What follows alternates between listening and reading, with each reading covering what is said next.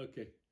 Hi. So I got Paula, uh, my personal videographer, and all of a sudden the dog is jumping around going crazy. But I wanted to uh, just share. Um, we have been doing a Africa Lent study through YouVersion, and I just wanted to get you give you an idea because I've wanted people to do the YouVersion forever. You won't be able to see it fully, but I'm clicking on the YouVersion app, which has now been downloaded by hundreds of millions of people.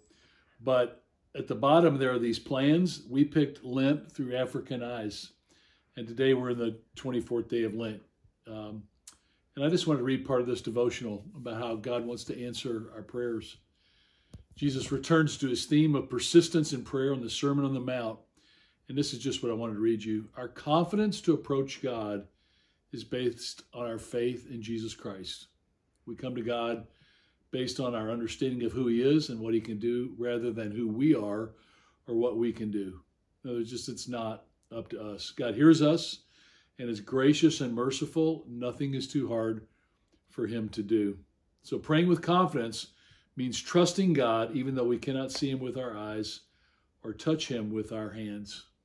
And I thought, what an incredible prayer for this time of really one of the most bizarre moments in certainly in my lifetime of people wondering, can God be trusted in all of this? And kind of wondering about uh, kind of all the restrictions been placed, worried about whether this virus, COVID 19, is going to spread.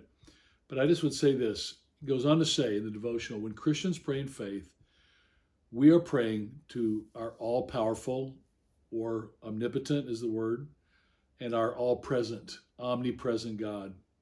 So it says, Let us approach this great God, believing He's able to give us what we need when we ask in His name and according to His will. So, anyway, I just love some of the things it's inviting us to do. But here's the scripture today Matthew 7 says, Ask and it'll be given to you. Seek and you will find. Knock and the door will be open to you. For everyone who asks receives and the one who seeks finds, and to the one who knocks, the door will be open. I, have always had different thoughts about this, but I just would simply say this.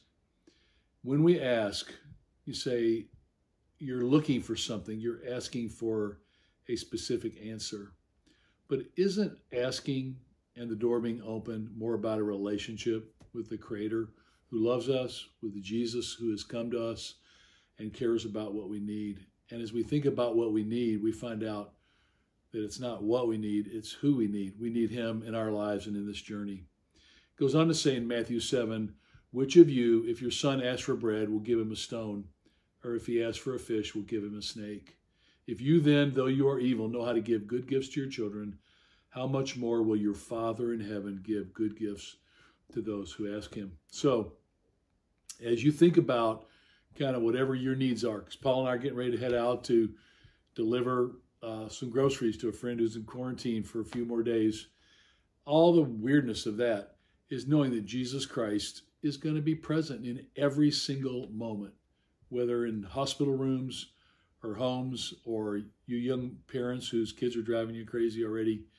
Um, God is going to be there present with you at every step of the way. So I hope you're taking advantage of doing some of this but most of all, that you know that your heavenly Father loves you so much that he gave you Jesus the Son, his Son, that he is present with us. There's nothing we can't go through, not one road or journey that Jesus hasn't already been on. So that's my thought for this morning. Not sure what it'll be tomorrow morning, but knowing that God is going to be with you every step of the way. Okay.